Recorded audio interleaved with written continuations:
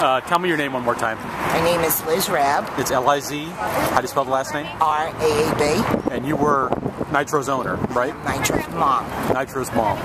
You've been pushing for this for how long now? three years. And uh, what do you think about where it stands? I think it's time to get it to the House floor for a vote. Are you, have you been given any indication why it hasn't gotten a vote yet? There were many who were against it. Uh, they worked very hard on it. They've got legally everything it should be, and there's no reason it shouldn't go through. I mean, Nitro wasn't a Democrat, he wasn't a Republican, he wasn't a liberal or a conservative.